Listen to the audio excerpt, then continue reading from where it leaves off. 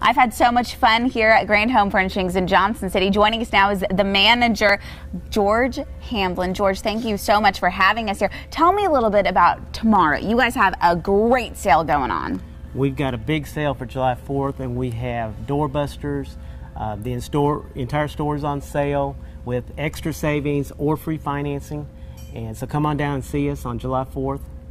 And there's going to be some great, like you said, doorbuster sales. We'll doorbuster sales. We will have some more information on that in just a few minutes because guess what? We're kind of standing in the area where the big deals are going to happen. But we heard from Linda, we heard from Stacy. You can get anything you need here at Grand Home Furnishings, right? Right. All yeah, right. We got some great deals. We really do. I've, I've been having fun just testing out all the mattresses and all the couches and stuff. It's a great place, and make sure you stop by tomorrow for the July 4th sale here at Grand Home Furnishings. George, we appreciate you so much for letting Daytime kind of run around here and get kind of a look at all the deals happening tomorrow. We appreciate it. Thank you for coming. Thanks so much, George. Chris, back to you.